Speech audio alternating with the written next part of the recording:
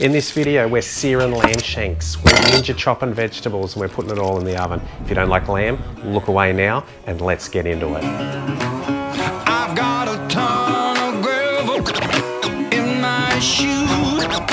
World on my shoulder, heart full of blues out in the dirt. The main ingredient is lamb shanks and you want to make sure you support your local butcher with some good quality meat. Fire up the barbie, drop on the cast iron skillet, put some oil in and let it get up to temperature. All right, now let's start the cooking. Grab a nice little lamb shank out and you want to lightly brown them for about 10 to 15 minutes in the pot. Add a good handful of sea salt, rock salt or table cooking salt. Turn regularly so you don't burn them. Stand the lamb shanks up on their bony ends to make sure that you put all the heat up through the shank and keep turning the new ones as you keep adding them to the pan. How are we looking now? Is it starting to get better?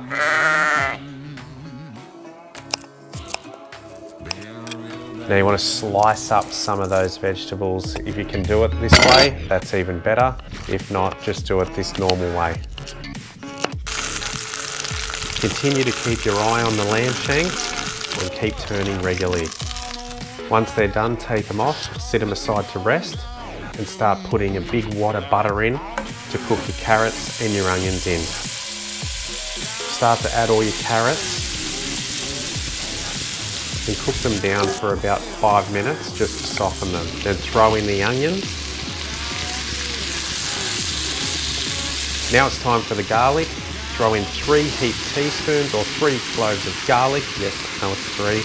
And stir that right through. Once that's all, the aromatics are out there and it's all softened, put your lamb shanks into a baking dish and start to add all your vegetables on top and make sure you don't fog up the lens of your camera. Mix it through and then it's time to add the stock. We're using a beef stock here. We're gonna use about one and a half litres. We wanna totally submerge all those lamb shanks so that they soften once we put it into the oven. We're using a can of Italian diced tomatoes. You put that in as well and make sure that you get that nice tomatoey flavour through the meat. Now guys, you can also add tomato paste, but we didn't in this one. Now it's time to add some thyme and also some rosemary. Cover it up with some tin foil, place it in the oven at 175 degrees for two hours. That's 175 degrees Celsius. Two hours on the clock, and while that's getting done, it's time to help out in the kitchen and make sure you clean up your mess. Checking on it after an hour, everything's starting to look good. It's time for the potatoes. Cut all the potatoes into equal sizes, chuck them in a pot and get them on the boil. Timer's gone off. Oh, that looks so good. Guys, if you could just smell it, it smells absolutely amazing. The aromatics is just fantastic. Now it's time to take the potatoes off the oven and get them ready for mashing. Drain them well. Also be careful you don't burn yourself. Then we want to add a heap of butter. Add as much butter as you're allowed. Mix it in with some milk. Give it a good old karate chop and a few squashes. Watch your fingers though that you don't cut them. And beat them up until they're nice and light.